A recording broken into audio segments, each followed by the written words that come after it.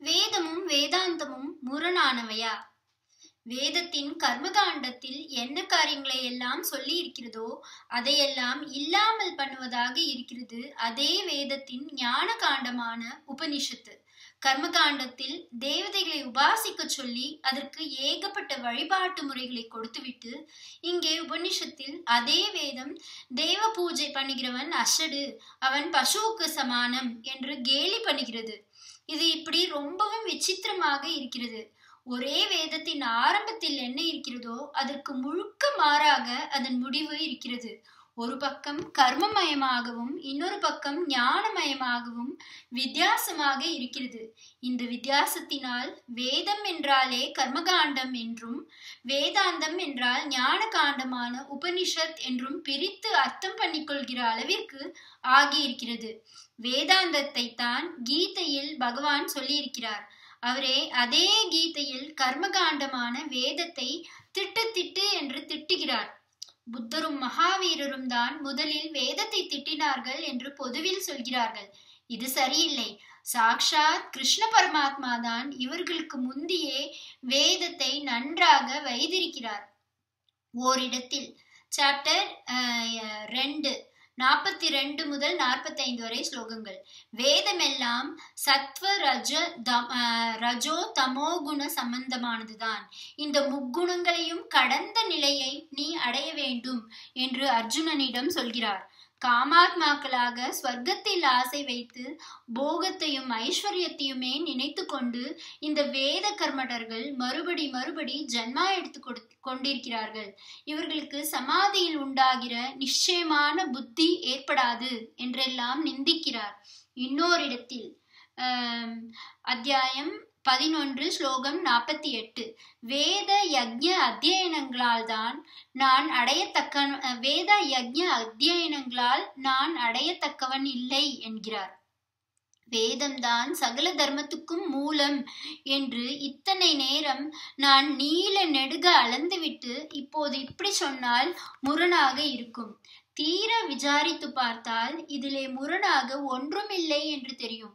சாதாரணமாக நாம் இருக்கப்பட்ட நிலையில் முக்குணங்களையும் கடந்து மனசை ஆடாமல் அசையாமல் நிறுத்தி தியானம் பண்ணுவது உபனிஷத்தில் சொல்கிற ஆத்மாவின் சத்திய நிலையை தெரிந்து கொள்வது என்றால் துளி கூட முடியாமல் தானே இருக்கிறது. அந்த நிலையில் நம்மை கொஞ்சம் கொஞ்சமாக கொண்டு சேர்ப்பதற்காகத்தான் வேத கர்மானுஷ்டானங்கள் யாவும் இருக்கின்றன. லோகம் என்பது நிஜம் என்று நினைத்து கொண்டிருக்கிற வரையில் இதிலே நாம் க்ஷேமமாக இருப்பதற்காக தேவதைகளை உபாசிக்கிறோம். லோகம் நிஜம் என்று நினைப்பதால் அந்த லோகத்துக்கும் தேவர்களால் க்ஷேமத்தை உண்டு பண்ணுகிறோம். இந்த லோகம் மாதிரியே தேவலோகம் நிஜம் தேவதைகளும் நிஜம் என்று வைத்துக்கொண்டு அந்த தேவதைகளுக்கு உபகாரம் பண்ணி அவர்களிடமிருந்து பிரத்யுபகாரமாக பல நன்மைகளை பெறுகிறோம். இந்த லோகத்தில் சந்தோஷமாக வாழ்க்கை நடத்துவது போலவே தேவலோகத்துக்கு போய் ஸ்வர்க்க போகங்களை அனுபவிக்க ஆசைப்படுகிறோம். இதெல்லாம் சரிதான். ஆனால் இதோடையே நின்றுவிட்டால் முக்கியமான லட்சியத்தை கோட்டை விட்டதாக அல்லவா ஆகிவிடுகிறது. வாஸ்தவத்தில் நாம் பரமாத்மாவை சாஸ்வதமாக சேர்ந்திருப்பதுதானே லட்சியம்.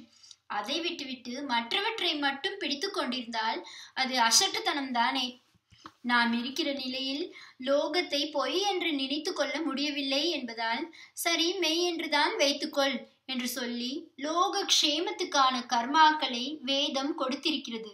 நாம் உள்ள நிலையில் அரூபமான ஒரே பரமாத்மாவை அபேதமாக உபாசிக்க முடியவில்லை என்பதால் அநேகம் தேவதைகளின் உபாசனைகளை அது கொடுத்திருக்கிறது. ஆனால் இப்படி கர்மாவும் உபாசனையும் பண்ணும்போதே லோகமெல்லாம் அடிபட்டு போய் கர்மாவும் நின்று விடுகிற ஞான நிலை நமக்கு வர வேண்டும். பல தேவதைகளை உபாசிப்பதாக இல்லாமல் பரமாத்மாவுக்கு அந்நியமாக நாம் என்றே ஒன்று இல்லை என்று கரைகிற நிலை வர வேண்டும். அதற்கு ஆரம்ப படிகளாக சித்த சுத்தியும் மனசின் ஐக்காக்கிரியமும் ஒருமுனைப்பாடும் ஏற்படுவதற்காகவே இந்த கர்மாக்களையும் உபாசனைகளையும் வேதம் கொடுத்திருக்கிறது என்ற அறிவோடு பண்ண வேண்டும். அப்படி இல்லாமல் வெறுமே லௌகீகமான க்ஷேமத்தை உண்டாக்கி கொள்வது தேவதைகளிடம் கொடுக்கல் வாங்கல் வியாபாரம் மாதிரி யக்யம் கொடுத்து நன்மை பெறுவது என்று இதோடையே நிறுத்தி கொண்டால் சத்திய சாட்சா்காரம் கிடைக்கவே கிடைக்காது. தேவலோகத்துக்கு போனாலும் ஆத்ம சுகம் என்கிற சத்திய சாட்சா்கார ஆனந்தம் அதில் கிடைக்காது. மேலும் தேவலோக வாசமும் நம் புண்ணியம் தீர்ந்தவுடன் முடிந்து நாம் மறுபடி பூலோகத்தில் கர்ப்பவாசம் பண்ணுவதற்காக திரும்பித்தான் ஆக வேண்டும். ஓரளவுக்கு நாம் இப்போதைய மனப்பான்மைக்கு விட்டு கொடுத்தும் நம்மை இன்றுள்ள நிலையிலிருந்தே சிறுக சிறுக கிராஜுவலாக பக்குவப்படுத்தவுமே கர்மாவும் உபாசனையும் வேதத்தில் கொடுக்கப்பட்டிருக்கின்றன. அதனால் இதோடையே நின்றுவிடுவேன் மேலே போக மாட்டேன் என்றால் அது தப்பு. முதலில் வேத கர்மானுஷ்டானங்களை பண்ண மாட்டேன் என்பதும் தப்பு. அப்புறம் அதை ஒரு நாளும் விடமாட்டேன் என்பதும் தப்பு. இந்த காலத்தில் எல்லோரும் முதலிலேயே யஜ்யமாவது அத்தியனமாவது இதெல்லாம் வேண்டவே வேண்டாம். நேரே உபனிஷத்துக்கு போகிறோம் என்கிறார்கள். இதனால் புத்திபூர்வமாக இன்டலெக்சுவல் உபனிஷத்தை பற்றி நிறைய பேசுகிற ஸ்திதி தான் வந்திருக்கிறதே தவிர அனுபவத்தில் சாந்தர்களாக வைராகியசாலிகளாக ஆத்ம ஞானிகளாக யாரும் வர காணோம் ஆரம்ப காலத்திலேயே அதற்கான சாதனைகளான கர்மானுஷ்டானங்களை விட்டுவிட்டதன் கோளாறு தான் இதற்கு காரணம். இது ஒரு விதத்தில் தப்பு என்றால் ஞானத்துக்கே வரமாட்டேன் என்று கர்மடர்களாகவே நின்று விடுவது இன்னொரு விதத்தில் தப் தப்பாக இருக்கிறது. முதல் கிளாஸ் இரண்டாம் கிளாஸ் என்று ஒவ்வொன்றாக படித்துதான் பிஏவுக்கு போக வேண்டும். எடுத்த உடனேயே பிஏ போவேன் என்றாலும் தப்பு. ஆரம்ப கிளாஸ்களிலேயே ஃபெயில் ஆகி கொண்டு அப்படியே இருப்பேன். மேல் கிளாஸ்க்கு போக மாட்டேன் என்றால் அதுவும் தப்பு. ஆதி காலத்தில் பிந்திய கோஷ்டி நிறைய இருந்தது. இப்போது முன்னால் சொன்ன மாதிரியானவர்கள் அதிகம் இருக்கிறார்கள். கிருஷ்ண பகவான் காலத்தில் கர்மானுஷ்டானத்தை விட்டு ஞானத்துக்கு வராதவர்கள் அதிகம் இருந்தார்கள். அவர்களைத்தான் அவர் திட்டினார். வேதத்தை அவர் திட்டியதாக தோன்றுவதெல்லாம் வாஸ்தவத்தில் வேத தாத்பரியத்தை சரியாக புரிந்து கொள்ளாமல் வேத கர்மாவோடு நின்றுவிட்டவர்களை குறித்து அவர் திட்டியதுதான். உள்ளபடி வேதத்தை ஒரு அவர் ஒரு நாளும் திட்டமாட்டார். வேதங்களை ரட்சித்து கொடுப்பதற்காகவே தான் அவர் திரும்ப திரும்ப அவதாரம் பண்ணினது. அவருடைய காலத்தை ஒட்டி கிருஷ்ண பரமாத்மா இப்படி கர்ம மார்க்கக்காரர்களை தா திட்டினார். இப்போது அவர் புதிதாக கீதை சொன்னால் இன்றைக்கு வேத கர்மாவே வேண்டாம் என்று நேராக உபனிஷத்துகளுக்கு போகிறவர்களைத்தான் திட்டியிருப்பார். கீதையிலே கர்மடர்களை திட்டுவதை விட இன்னும் கடுமையாக திட்டியிருப்பார் என்று கூட தோன்றுகிறது. ஏனென்றால் அதைவிட இதுதான் பெரிய தப்பு. முதல் கிளாஸ் ரெண்டாம் கிளாஸ் எப்படியும் படித்துதான் ஆக வேண்டும். அவனுக்கு நன்றாக சொல்லிக் கொடுத்து மேல் கிளாஸ்க்கு பிடித்து தள்ளிவிடலாம் ஆனால் முதலிலேயே பிஏ போகிறேன் என்பவன் ஒரு வழிக்கும் வரவில்லை. அவனை ஒரு வழிக்கும் கொண்டு வரவும் முடியாது. ஆரம்ப கிளாஸில் படிக்கிறவன் கொஞ்சமாவது விஷயம் தெரிந்து கொள்கிறான். இவனோ ஒன்றும் தெரிந்து கொள்ள முடியாது. வேதத்துக்கு வேதத்துக்கும் வேதாந்தத்துக்கும் முரண்பாடே இல்லை. வேதாந்தத்துக்கு பக்குவப்படுத்துவதற்காகவே வேதம் கர்மகாண்டம் இருக்கிறது. அது லோக சம்பந்தமானதுதான். பல தேவதைகளின் சம்பந்தமானதுதான். முக்குண சம்பந்தமானதுதான். ஆனாலும் லோகத்தை விட்டு தெய்வத்தையும் உபாசனையும் வேறில்லை என்று குணம் கடந்த நிலைக்கு போவதற்கு பூர்வாங்கமாகவே அது அப்படி இருக்கிறது என்று புரிந்து கொண்டு அதை அனுஷ்டித்தால் அது தானாக ஞான காண்டத்தில் கொண்டு சேர்த்துவிடும். ஸ்வய நன்மை மட்டுமில்லாமல் லோகத்தில் உள்ள சமஸ்த பிராணிகளுக்கும் வேத சப்தமும் யஜ்யமும் க்ஷேமம் கொடுப்பதாயிற்றே. இவன் லோகம் பொய் என்று ஞானியாக போய்விட்டால் லோக க்ஷேமம் என்ன ஆவது? இப்படி தோன்றுகிறது. அவனுக்கு லோகம் பொய்யாக போய்விட்டாலும் நமக்கு அது நிஜம் மாதிரி தானே இருந்து கொண்டு உபத்திரவப்படுத்துகிறது. இந்த உபத்திரவம் தீர்வதற்கு யஜ்யம் மாதிரியான அனுஷ்டானம் எதுவும் ஞானி பண்ணவில்லையே என்று தோன்றுகிறது. ஆனால் ஞானி இருக்கப்பட்ட உத்தமமான ஸ்திதியை பார்த்தால் அவன் யக்ஞம் என்ற ஒன்று பண்ணித்தான் லோக க்ஷேமத்தை உண்டு பண்ண வேண்டும் என்றே இல்லை. அவன் வாழ்க்கை முழுக்கவே யக்ஞமாகத்தான் இருக்கிறது. அவன் லோகத்தை அடியோடு பொய் என்று நினைத்தாலும் சரி அல்லது இந்த லோகம் பகவானின் லீலை என்று நினைத்தாலும் சரி அவன் மூலமாக இந்த லோகத்துக்கு பகவானின் அனுகிரகம் ஓயாமல் வெளிப்பட்டு கொண்டேதான் இருக்கிறது. ஞானிகள் ஞானிகளிடம் கூட்டம் கூட்டமாக ஜனங்கள் போவதற்கு காரணம் என்ன? அவர்கள் ஜனங்களை விட்டு போனாலும் கூட இவர்கள் போய் அவர்களுடைய காலில் விழுவதற்கு காரணம் என்ன? அவர்கள் செய்கிற அனுகிரகம்தான் காரணம். அவர்கள் உத்தேசித்து செய்கிறார்களோ இல்லையோ அவர்கள் மூலமாக ஈஸ்வர அனுகிரகம் லோகத்துக்கு பாய்கிறது. அவர்களது சன்னிதானத்திலேயே ஜனங்களுக்கு ஒரு தாப சாந்தி கிடைக்கிறது. லோக ரீதியான வேண்டுதல்கள் கூட நிறைவேறுகின்றன. தனக்கு அந்நியமாக தேவதை இல்லை என்கிற ஞானத்தை அடைந்துவிட்ட ஞானியே தேவதைகளுக்கெல்லாம் மேலே பெரிய அனுகிரகத்தை பண்ணிவிடுகிறான். ஆனால் அதனால் அவன் யஜ்யம் செய்யவில்லையே லோக க்ஷேமத்துக்கு எதுவும் செய்யவில்லையே என்று நினைப்பது தப்பு. பிற்காலத்திய வேதாந்த ஹிந்து மதத்தை வேத கர்மானுஷ்டான காலத்திலிருந்து பிரித்து இந்த ஹிந்துக்களுக்கு இண்டிவிஜுவல் சால்வேஷன் தனி மனுஷனின் மோட்சம்தான் முக்கியம். லோக க்ஷேமத்தை இவர்கள் கவனிப்பதே இல்லை. தியானம் யோகம் சமாதி எல்லாம் இண்டிவிஜுவல் சால்வேஷனையே தான் மையமாக கொண்டவை என்று பிற மதஸ்தர்கள் சொல்கிறார்கள். கிறிஸ்து நபி புத்தர் மாதிரி அன்பு லவ் சகோதரத்துவம் பிரதர்ஹுட் இவற்றை சொல்லி சோஷியல் கான்சியஸ்னஸ் சமூக உணர்வை ஹிந்து மதத்தினர் ஹிந்து மதம் வளர்க்கவில்லை என்கிறார்கள். ஆனால் நம் மதத்தை சரியாக புரிந்து கொண்டால் வேத மதம் வேதாந்த மதம் என்று பிரிப்பதே முழு பிசுகு. கடைசியில் சந்யாசிரம சந்யாசாசிரமத்தில் எவன் வேதாந்தியாக ஞான விசாரம் பண்ணி இண்டிவிஜுவல் சால்வேஷன் அடைகிறானோ அவனேதான் அதற்கும் முந்திய ஆசிரமங்களில் அத்தியனமும் கர்மானுஷ்டானமும் பண்ணும் வைதீகனாக இருந்து கொண்டு இவற்றால் லோக க்ஷேமத்தை உண்டு பண்ணுகிறான். அப்படி பண்ணியதேதான் இவனுக்கு சித்த சுத்தியை கொடுத்து தன்னுடைய சொந்த மோட்சத்துக்கு நேர் வழியான வேதாந்தத்தில் சேர்க்கிறது.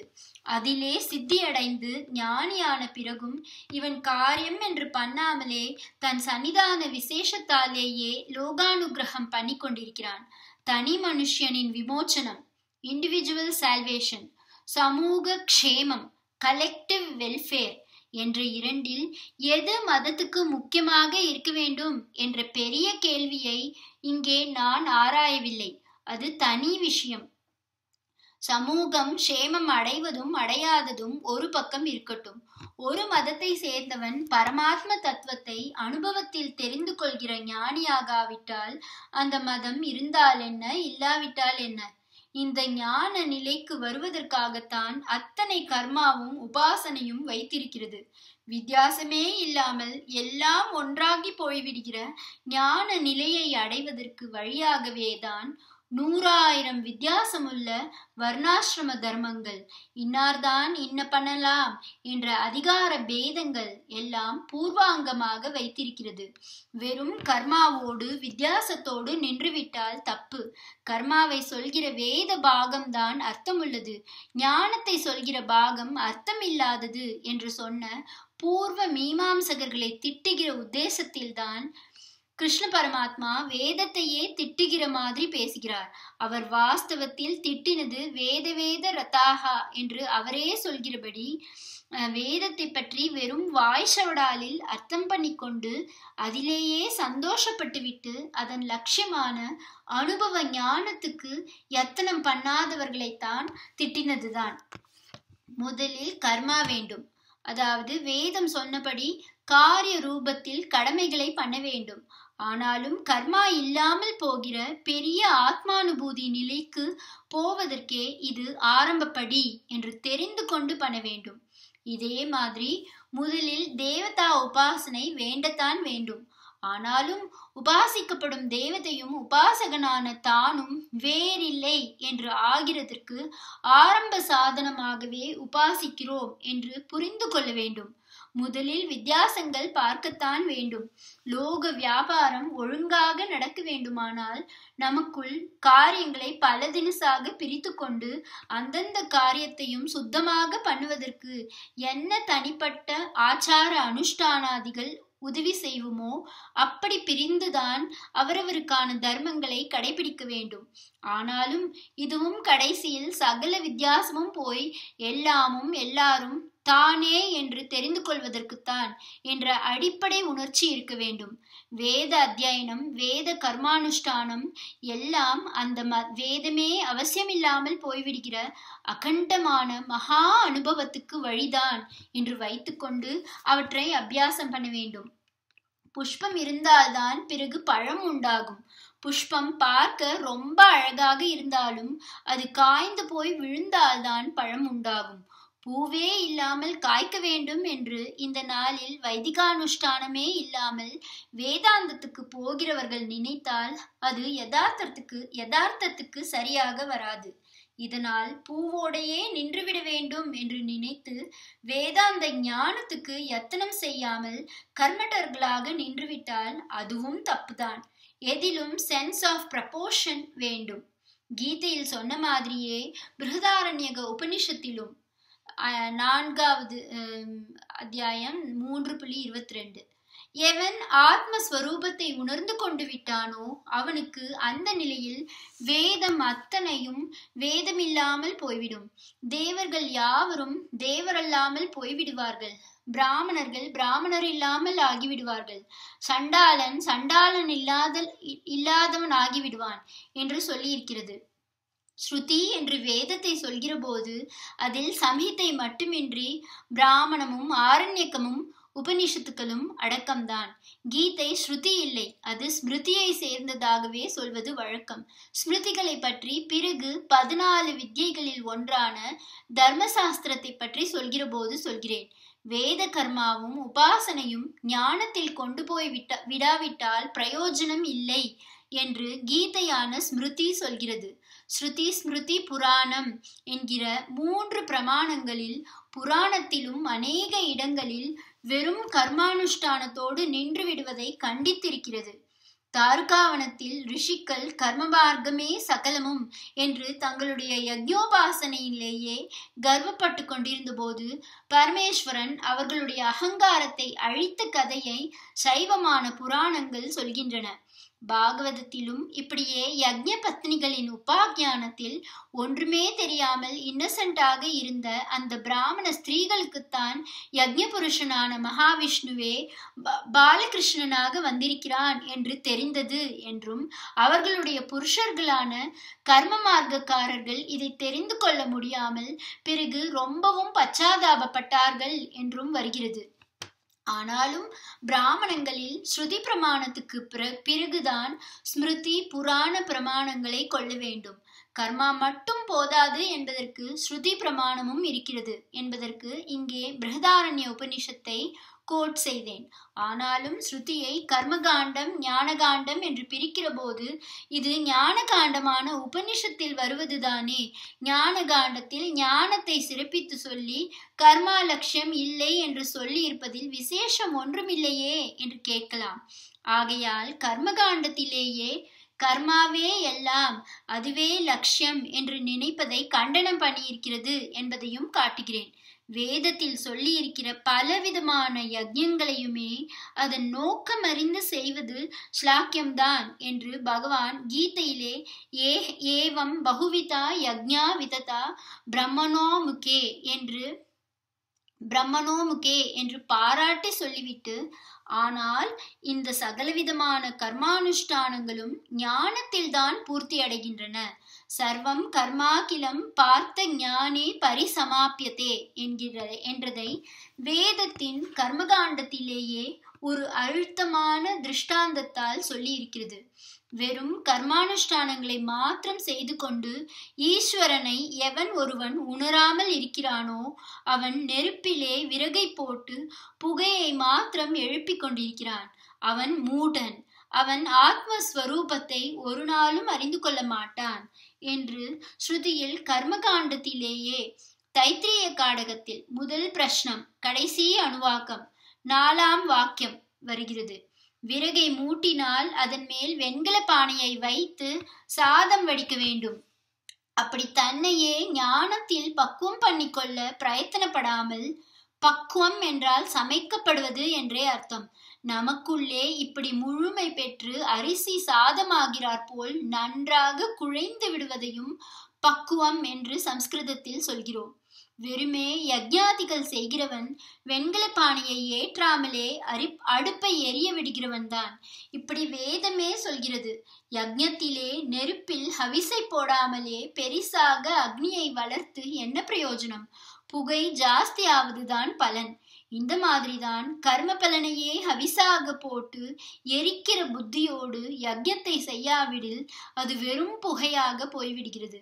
பிரம்மாக்னியில் ஆத்மாவை ஹவிசாக தர வேண்டும் சம்யம சம்யமம் என்ற புலனடக்க அக்னியில் இந்திரிய நுகர்ச்சிகளை ஹோமம் பண்ண வேண்டும்.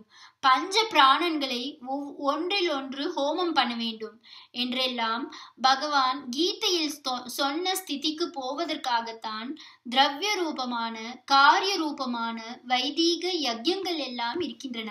இதை தெரிந்து கொள்ளாமல் எத்தனை யஜ்யம் செய்தாலும் ஒருவன் கொஞ்சம் கூட புத்திசாலியே இல்லை.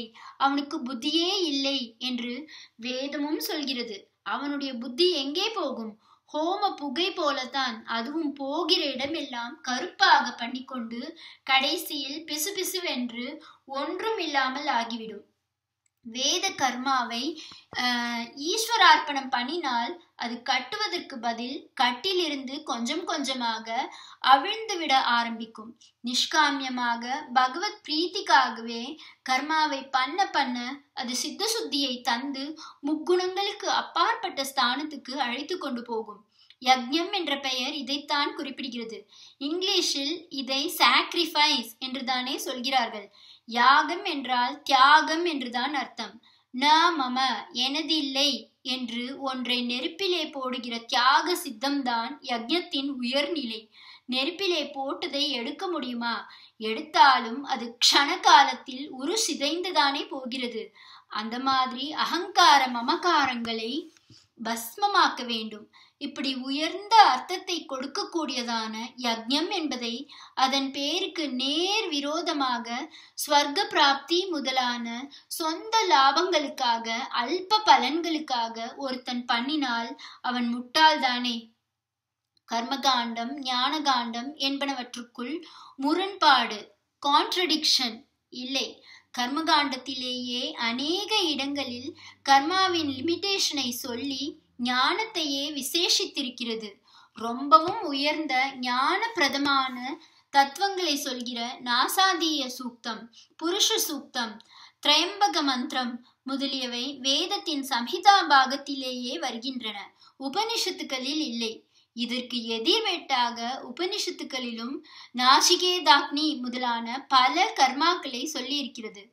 கர்மானுஷ்டானங்களில் விசேஷமாக பிரயோகி பிரயோகமாகிற மந்திரங்கள் தைத்திரிய உபனிஷத்தில் இருந்தே கிடைக்கின்றன. ஒன்றுக்கொன்று விரோதமானது என்றால் இப்படி இருக்குமா? ஒன்றிலிருந்து இன்னொன்றுக்கு போக வேண்டும் என்பதே தாத்பரியம்.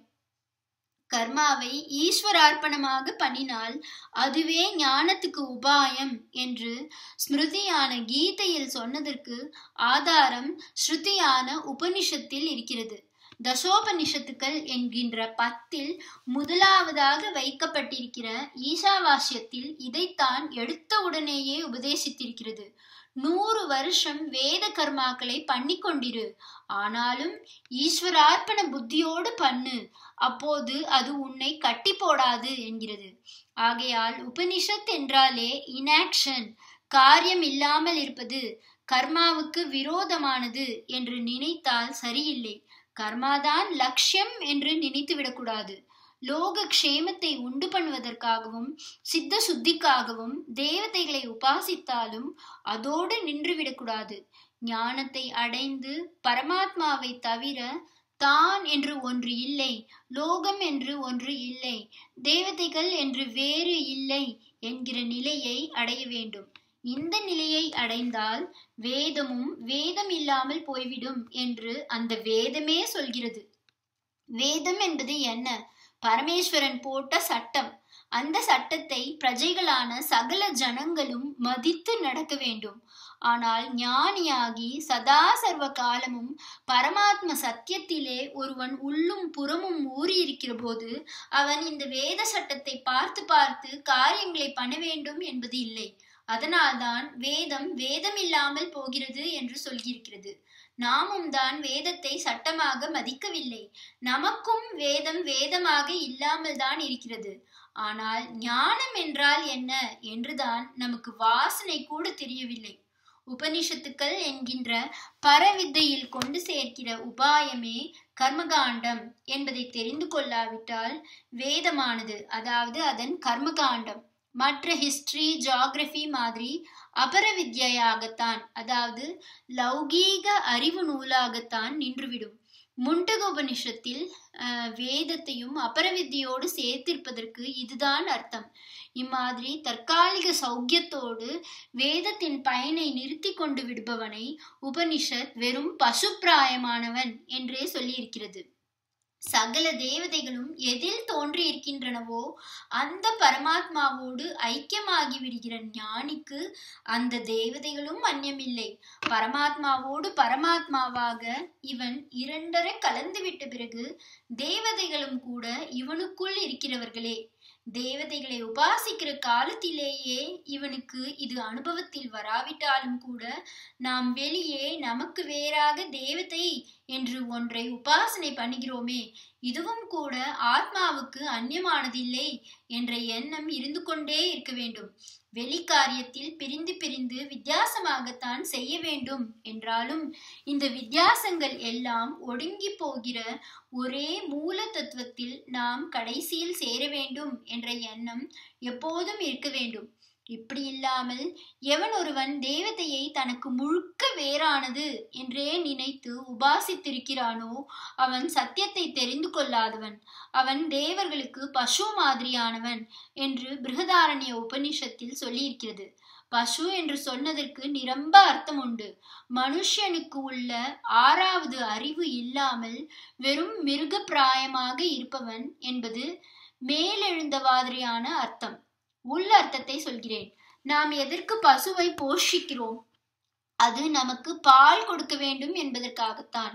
நமக்கு அது க்ஷீரத்தை கொடுக்கிறது என்பதற்காகத்தான் நாம் அதற்கு புல்லும் வைக்கோலும் புண்ணாக்கும் பருத்தி கொட்டையும் போடுகிறோம். இதே மாதிரி நாம் யஜ்யத்தில் ஹவிசுகளை ஹோமம் கொடுத்து தேவதைகளுக்கு பிரீத்தியை செய்கிறோம். இப்படி நாம் செய்வதற்கு பிரதியாகத்தான் அவர்கள் நமக்கு மழை தானிய விருத்தி முதலான பல அனுகிரகங்களை செய்கிறார்கள். நாம் முன்னையே சொன்ன மாதிரி இந்த தேவதைகள் மனுஷ இனத்தை விட உயர்ந்தவர்களானாலும் இவர்களும் நிறைந்த நிறைவான ஆனந்தத்தை அடைந்தவர்கள் இல்லை. மனுஷ ஜென்மா எடுத்தே ஞானியாகிவிட்ட ஒருவன் அடைகிற பிரம்மானந்தத்தில் லட்சத்தில் ஒரு பங்கு கூட தேவர்களுக்கு கிடையாது.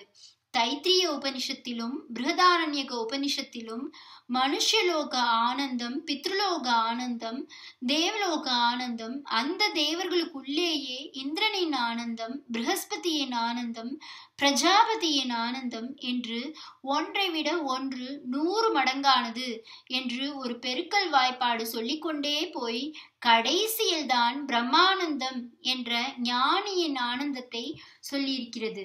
ஆதலால் தேவர்களும் குறையுள்ளவர்கள்தான். அதோடு கூட எல்லா குறையையும் பூர்த்தி செய்கிற ஞானத்துக்காக அவர்கள் பாடுபடுவதும் இல்லை. தங்களுக்கு மனுஷர்களால் உண்டாகிற லாபங்களை எதிர்பார்த்து கொண்டு நாம் செய்கிற யஜ்ஞம் முதலான உபாசனைகளை எதிர்பார்த்து கொண்டுதான் அவர்கள் இருக்கிறார்கள். இதனால் அவர்களுக்கு மனுஷர்கள் ஞானிகளாகி விடுவதும் பிடிக்கவில்லை. பிருகதாரண்யக உபனிஷத்தில் இப்படி வியக்தமாக சொல்லியிருக்கிறது. மனிதர்கள் ஆத்மாவை அறிந்து கொள்வது தேவர்களுக்கு பிரியமாக இல்லை என்று அந்த உபனிஷத்தில் சொல்லியிருக்கிறது.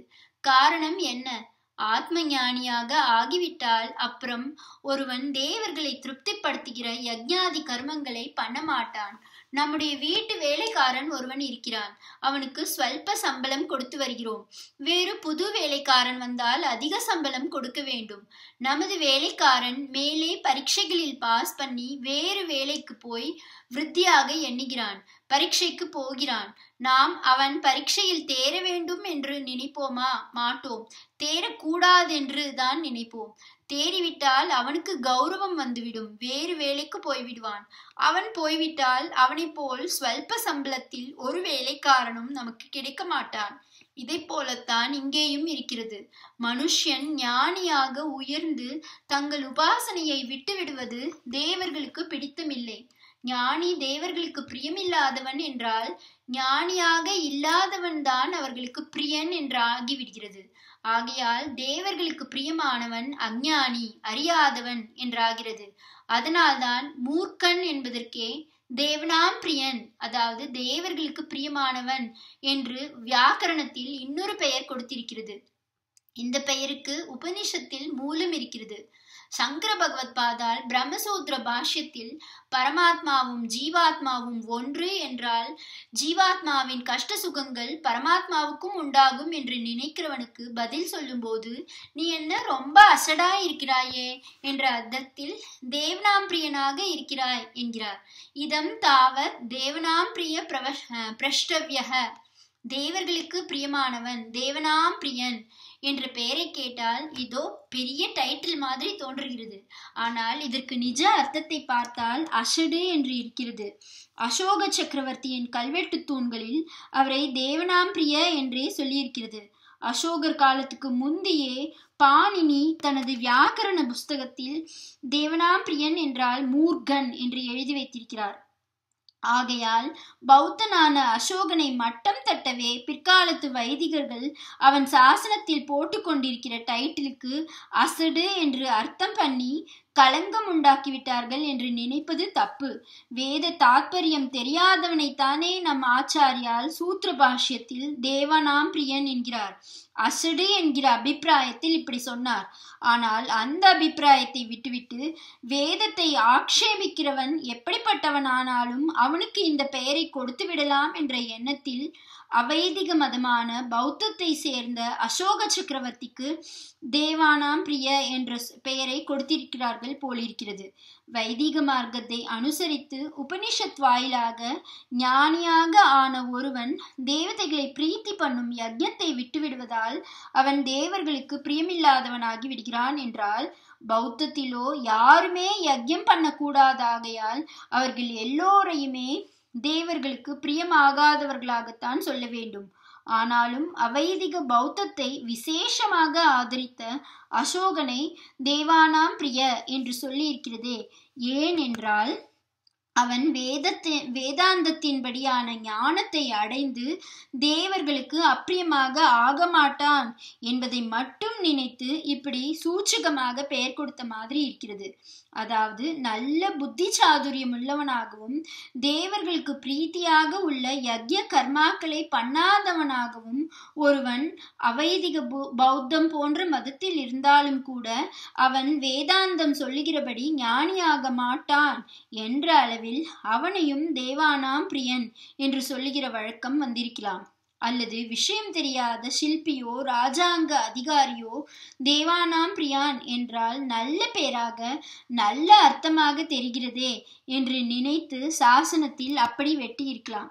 தேவானாம் பிரியனாக யஜ்யம் பண்ணி கொண்டிருப்பவன் ஞானியாக ஆகி கர்மானுஷ்டானத்தை விட்டுவிட்டால் நமக்கு ஒன்றும் கிடைக்காதே என்று தேவதைகள் பிரதிபந்தங்கள் இடையூறுகள் செய்வார்கள். ரிஷிகளின் தபஸை கலைப்பதற்கு ரம்பை மேனகை முதலியவர்களை அனுப்புவார்கள் என்று புராணங்களில் பார்க்கிறோம். ஞானியாகும் வரையில் மனிதன் தேவதைகளுக்குரிய கர்மாக்களை செய்து கொண்டிருக்கிறான். அதற்காக அவர்கள் மனிதனுக்கு நல்லது பே பண்ணுகிறார்கள் மழை பெய்ய செய்கிறார்கள். அதற்காக ஹவிர்பாகம் கொடுக்க வேண்டும். நமக்கு இந்த உலகத்தில் ஒருவர் ஒரு உபகாரம் செய்தால் பிரதி உபகாரம் செய்ய வேண்டும் அல்லவா அதை போல மழைக்கும் செய்ய வேண்டும். அதற்காகத்தான் யாகம் செய் யஜ்யம் செய்கிறோம். யாராவது ஒரு பிராமணர் தேவதைகளுக்கு ஹவிர்பாகம் கொடுக்கிறார். அவர் எல்லோருக்கும் பிரதிநிதியாக இருந்து கொடுக்கிறார். யாராவது ஒருவர் வரி கொடுப்பதைப் போல் அவர் கொடுக்கிறார். ஆகவே ஞானியாகும் வரைக்கும் மனிதன் தேவதைகளுக்கு பிரியமான கர்மாக்களை செய்து அவர்களுக்கு பிரியமானவனாக இருக்கிறான். மாடு கறந்து பால் பெற்றுக்கொள்வது போல தேவர்கள் அவன் மூலம் லாபத்தை அடைகிறார்கள். மாடு கறப்பது இல்லையானால் அந்த மாட்டால் மனிதனுக்கு என்ன பிரயோஜனம்? அதுபோல மனிதன் பசுவைப் போல் இருக்கிற வரையிலும் தேவதைகள் அவன் மேல் பிரியமாக இருப்பார்கள். பசுவா இல்லாமல் போனால் வெறுப்பார்கள் உபத்திரவப்படுத்துவார்கள். அதாவது ரெண்டு அர்த்தப்படியும் மனிதன் தேவதைகளுக்கு பசுவாக இருக்கிறான். அறிவில்லாதவன் என்ற அர்த்தத்தில் மாடு மாதிரி இருப்பதால் கறவை நின்ற பசுவை நாம் ரட்சிக்காத மாதிரி கர்மாவை நிறுத்தினவனை தேவர்கள் ரட்சிக்காமல் விடுவதாலும் பசு மாதிரி. தேவதை தனக்கு வேறல்ல என்று அறிவதே ஞானம். அதற்குத்தான் வேதாந்தம் வழி சொல்லிக் கொடுக்கிறது. கர்மாவும் தேவதா உபாசனையும் கூட நின்று போய் அனைத்தும் தானாகிவிடுகிற நிறைந்த நிலைக்கு வழி சொல்கிறது. அந்த வேதாந்தத்துக்கு நம் தேசத்தில் எத்தனை கௌரவம் இருந்திருக்கிறது என்பதற்கு ஒரு பெரிய அத்தாட்சி சொல்கிறேன். அனந்தமாக இருந்த வேதங்களில் ரிஷிகள் பிடித்து கொடுத்ததே ஓரளவுதான். ஆனால் அதுவும் கூட கலிகால அற்பசக்தர்களால் அபியசிக்க முடியாதது என்பதால் ஆயிரத்தி நூற்றி எண்பது சாகைகளாக கிளைகளாக பிரித்து இதில் ஒவ்வொன்றிலும் சம்ஹிதை பிராமணம் ஆரண்யக்கம் முடிவிலே உபனிஷத் என்று வைத்து இதில் ஒன்றையாவது ஒருத்தன் அத்தியனம் பண்ண வேண்டும் என்று வைத்தார்கள். பிற்காலத்தில் இதிலும் அநேகம் வழக்கொழிந்து போய்விட்டன. பாக்கியையும் தீர்த்து கட்டிவிடுகிற நிலைமைக்கு இந்த தலைமுறையை சேர்ந்த நாம் புண்ணியம் கட்டி கொண்டிருக்கிறோம். அது இருக்கட்டும். நான் சொல்ல வந்தது ஒவ்வொரு சாகையிலும் ஒரு உபனிஷத் இருக்கிறது. அம்மாதிரி இப்போது பூர்ணமாக உள்ள சாகைகளில் இருக்கிற உபனிஷத்துக்களோடு கூட தற்போது பிரச்சாரத்தில் வேறு பல உபனிஷத்துக்களும் இருக்கின்றன. இந்த உபனிஷத்துக்கள் எந்த சாகையை சேர்ந்தனவோ அந்த சாகையில் சம்ஹிதை பிராமணம் முதலிய பாகங்கள் தற்போது அத்தியனம் செய்யப்படவில்லை. அவற்றில் பலவற்றின் டெக்ஸ்ட் கூட நமக்கு அகப்படவில்லை. ஆனாலும் அவற்றை சேர்ந்த அந்த உபனிஷத்துக்கள் மட்டும் இன்று வரை அழியாமல் வந்திருக்கின்றன. உதாரணமாக ரிக்வேதத்தில் சாங்காயன சாகை என்பதன் சம்ஹிதா பாகம் இப்போது அத்தியனத்தில் இல்லை. அதை இழந்துவிட்டோம் ஆனாலும் அந்த சாகையின் முடிவிலே வருகிற கௌஷீதகி உபனிஷத் மட்டும் இன்றைக்கும் நம்மிடையே ஜீவனோடு இருந்து வருகிறது. ரிக்வேதத்திலேயே பாஷ்கல மந்த்ரோபனிஷத்து என்று ஒன்று நமக்கு வந்திருக்கிறது. அடையாறு லைப்ரரியில் இதன் சுவடிகள் இருப்பதாக சொன்னார்கள். ஆனால் இது எந்த சாகையின் முடிவில் வருகிறதோ அது பாஷ்கல சாகை என்பதன் சம்ஹிதையை பற்றியோ பிராமணத்தை பற்றியோ நமக்கு ஒன்றும் தெரியவில்லை. கட்டோபனிஷத் என்பது கிருஷ்ண யஜுர்வேதத்தில் கடசாகை என்பதை சேர்ந்தது. உபனிஷத் என்பது ஆரண்யகத்தின் கடைசியில் வருவது என்று முன்பே சொன்னேன் அல்லவா? ஆனால் இன்றைக்கு கட்டோபனிஷத் மிகவும் பிரசித்தமாக தசோபனிஷத்துக்களிலேயே ஒன்றாக இருந்த போதிலும் இதற்கான ஆரண்யகம் நமக்கு கிடைக்கவில்லை. அதர்வ அத்தியனம் வட இந்தியாவில் சில பாகங்களில் கொஞ்சம் மூச்சை பிடித்து கொண்டிருப்பது தவிர தக்ஷிண தேசத்தில் அடியோடு மறைந்து போய்விட்டிருக்கிறது. ஆனாலும் பத்து உபனிஷத்துகளில் மூன்று பிரஷ்னம் முண்டகம் மாண்டூக்கியம் அதர்வ வேதத்தை சேர்ந்தவைகளாகவே இருக்கின்றன. அதாவது கர்மாக்களுக்கு பிரதானமாக இருக்கிற சாகா சாகையின் பாகங்கள் மறைந்து போகும்படி விட்டுவிட்டாலும் தத்துவத்தை மட்டும் விடக்கூடாது என்று நம் தேசத்தில் இப்படி ஞான உபாயமான உபனிஷத்துக்கள் பலவற்றை விசேஷமாக காப்பாற்றி வந்திருக்கிறார்கள். உபனிஷத்துக்கள் ஏகப்பட்டன இருந்திருக்கின்றன. இருநூறு வருஷங்களுக்கு முன் காஞ்சிபுரத்தில் இருந்த ஒரு யதிகள் நூத்தி எட்டு உபனிஷத்துக்களுக்கு பாஷ்யம் எழுதியிருக்கிறார். அவருக்கு உபனிஷத் பிரம்மேந்திரால் என்றே பெயர் ஏற்பட்டுவிட்டது. இன்னமும் அங்கே அவர்களுடைய மடம் இருக்கிறது.